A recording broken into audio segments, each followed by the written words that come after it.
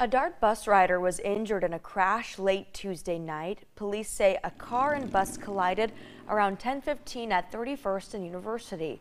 One person on the bus fell off a chair during impact. Paramedics took that person to the hospital to be checked out. No other injuries were reported despite the airbags going off inside the car. The cause of the crash is under investigation.